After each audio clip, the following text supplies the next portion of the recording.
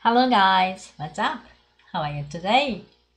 はい、今週も旅行英会話の時間がやってまいりました。English for your trip、えー、今日は機内英語のパート2になります。機内でもいろいろとお話しすることがあります。なので、えーと、普段からちょっとおしゃべりをして、口ならししてみてくださいね。はい。えー、では、と基本の3つ言ってみましょう。Can I have some water? Can I have a blanket?Can I borrow a pen? これはすべてあのお願いする、えー、キャビンアテンダントにお願いするような感じになりますかね。Can I have some water? これお水いただけますか？えー、っと、ウォーターはね、数えられない動詞、数えられない名詞ですね。不可算名詞になります。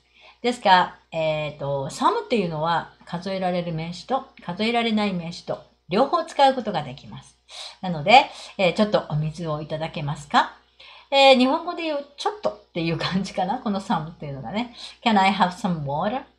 えお水をいただけますか？そして次です。Can I have a blanket? えっ、と、毛布とかね、置いてある、国際線だと置いてあることがありますけれど、まあ、あの、毛布がない時にちょっと足とかがね、え、寒かったりすると、ブランケットをちょっとくださいっていう時ありますよね。その時に使いましょう。Can I have a blanket? そして次です。えー、出国手続き、えー、入国カードみたいなね。書くときありますね。あれもあの、カバンの中からパスポート出したりとか、ペンを出したりとか、結構めんどくさいんですよね。その時にちょっとペンが見当たらない。そういう時にちょっとペンを借りていいですか？ペンを貸してくださいっていう時ですね。Can I borrow a pen?Can I borrow a pen? と言います。borrow っていうのは借りるという動詞になりますね。これは全部 can I で始まっているので、少し丁寧な言い方になります。えー、ください。ください。貸してください、えー、ブランケットをお願いします。またはお水をくださいますか？とかね、いう日本語では少し丁寧な言い方になっていますね。can I have という構文を覚えておくと、後ろにいろんなものをくっつけることができるので、便利なフレーズになります。そして次、役立つフレーズですね。結構いっぱいあります。でも、あの、機内のではね、いろいろとあの、キャビンアテンダントの方にね、えー、フライトアテンダントの方にあのお願いすることが結構あるかと思います。えー、じゃあ上の3つ読んでみましょう。Can I have room temperature water? 2つ目。May I have water without any ice? 3つ目。It's cold in here. この3つですね。最初の Can I have room temperature water? これは room temperature。これで常温。あの、room っていうのは部屋ですね。temperature っていうのは温度。だから部屋の温度の水ってことで、あの、常温ですかね。私は 水道水飲みますが、あの、氷を嫌がる方とかね、冷たいものが嫌がる方、常温のお水を求められる方いらっしゃいますね。そういう時に room temperature water と使います。Can I have room temperature water? 後ろこれ、あの、抑揚を上げてくださいね。イントネーション上げます。Can I have room temperature water? この temperature っていう言い方は、とてもあの、英語的に長いので、えー、話に、えっ、ー、と、喋りにくいと思われるかもしれませんが、このまま、えー、日本語で、テンプラチュアって言っちゃうと、とてもあの、覚えにくいし、あの、言いにくい、したかみそうですね。こういう長い英語の場合は、アクセントをつけましょう。アクセントをつけましょう。えー、この場合は、temperature の te の e の上にアクセントがついてます。なので、最初にボーンとアクセントをつけると、あとはふにゃふにゃで大丈夫です。あとはふにゃふにゃ。つまり、temperature, temperature という感じになります。こちらの方が、あの、意味通じるかと思います。Can I have room temperature water? これで大丈夫だと思います。はい。えー、だから長い単語でね、舌が回らないなんていう時は、アクセントに気をつけて発音すると、意外と通じてしっかりと、あのー、話ができる。そういう特徴がありますね。そして二つ目。May I have some, uh, may I have water without any ice?、any ice ですね。May I have water without any ice? これは氷の入っていない、えーと、お水をください。えー、氷嫌がる方結構海外の方いらっしゃいますね。えー、日本人は氷入ってる方がスキッとして私は好きなんですけれど、えー、冷たいものい,、いらない時ですね、えー、氷を、氷がない水をくださいますか？で、May I have water without any ice? without っていうのは何々なしで何々が入っていないという意味です。any ice。えー、1個の、1個のアイスも入っていない、氷の入っていないお水をくださいってことですね。そして3つ目。It's so cold here. It's so cold here. えっ、ー、と、ここちょっと寒いです。ね、すごい、あのー、クーラーが効きすぎてる時ありますよね。あの、ハワイアンエアラインとか乗ると、あ乗ると、結構エアコンガンガンと効いてましてね、現地に着くとちょうどいいんですけど、日本で、えー、乗るとき、ボーディングするときはちょっと寒かったりしますよね。でここちょっと寒いんですが、っていうようなときです。It's so cold in here. えー、here っていうのは副詞、場所を表す副詞ですので、実は in というのはいらない。It's so cold here で大丈夫なんですが、ここに in がついているということは、here という副詞、ここはという、そういうちょっと強調している形になります。in here の以外に in there というふうにも使うときもあります。これもちょっと強調ですね。It's so cold in here. はい。じゃあ次の3つ目いってみましょう。あ次の3ついってみましょうね。Would you raise the cabin temperature? Would you raise the cabin temperature? 次は Can I get an extra pillow and blanket? Can I get an extra pillow and blanket? そして3つ目が Are there any Japanese newspapers on board? Are there any Japanese newspapers on board? ね。最初、えー、would you はこれもお願いしている文になりますね。えー、ちょっと丁寧な形ですね。何々していただけませんか？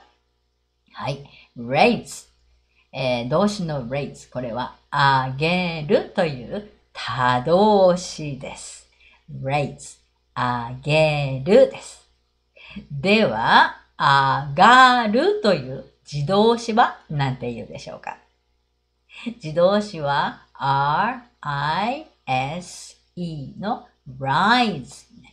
rise。これが上がる。今回は raise なので上げる。何を上げてもらいたいかというと the cabin temperature。ここもまた temperature 出てきましたね。the cabin temperature。ことで、えっと、飛行機内ですね。キャビン内の温度。ちょっと寒いから上げていただけませんか？ということですね。えっ、ー、と、機内の温度を、temperature、気温ですね。温度を上げてくださいませんか ?raise. Would you raise the cabin temperature? こういうふうにお願いしてみましょう。そして次です。Can I get an extra pillow and blanket? extra この場合エクストラ、特別なとかっていう風な意味に使う時もありますね。今回、あの、国際線に乗ったら、あの、枕、ちっちゃな枕と、えー、ブランケット、大体あの、座席に置いてありますが、それではちょっと足りないっていう時、もう一つ、もう一つ枕と毛布をください。いう時に、エクストラ使います。案がついてるので気をつけてくださいね。Can I get an extra pillow and blanket? もう一つの枕とブランケットをくださいませんか？はい。次です。Are there any Japanese newspapers on board? オンボードっていうのは、あの、飛行機に乗ってるってことなので、飛行機の中に日本語の新聞ありますか？ね、日本語の新聞読みたいときありますよね。そういうときに、オンボード。飛行機内に、機内に日本語のあ、えっと、新聞をがありますか？どういうことになります ?Are there any Japanese newspapers on board? ことですね。次です。これよくあります。あ、次3つ読みますね。Uh, these headphones seems to be broken. そして、I don't feel well. それから、Are there any staffs who can speak Japanese? この3つですね。These headphones seem to be broken.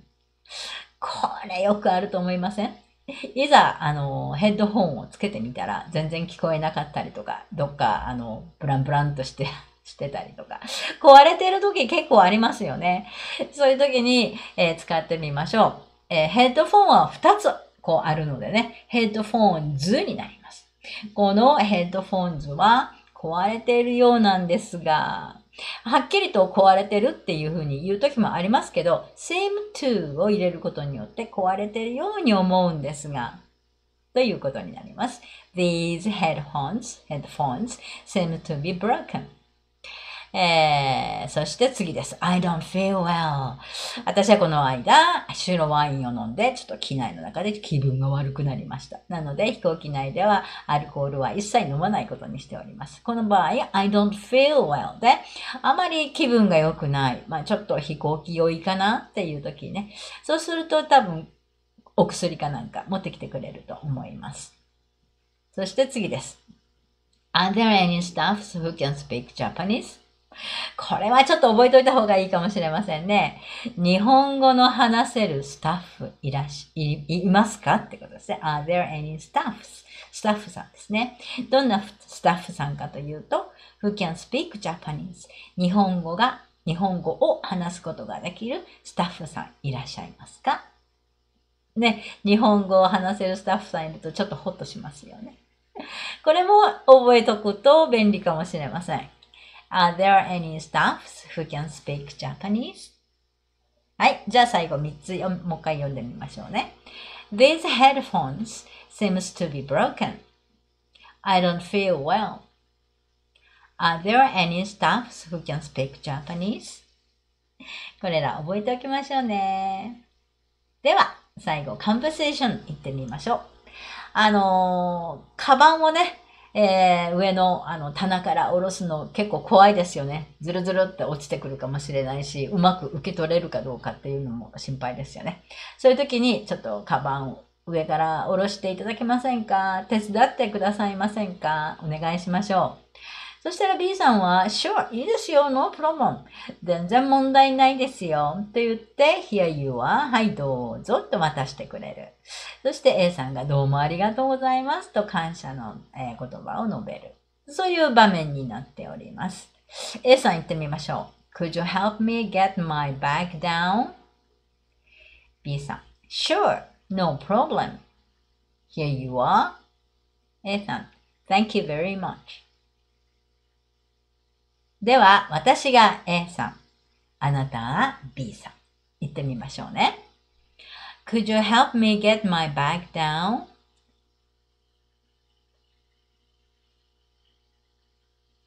Thank you very much. 言えましたか？では今度スイッチしましょうね。えー、あなたが A さん、私が B です。はい。ではどうぞ。Sure, no problem. Here you are. 言えましたか、えー、普段からちょっと練習しておかれると、突然の海外旅行にでも対応できると思います。はい。それでは木曜日またお会いしましょう。Bye now. See you again.